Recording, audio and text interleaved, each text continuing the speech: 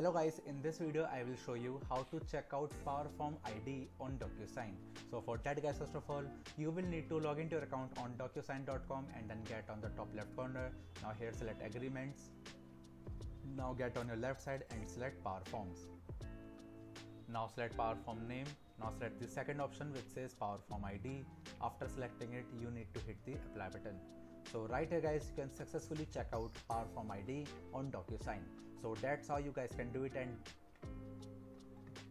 that's it for the video now.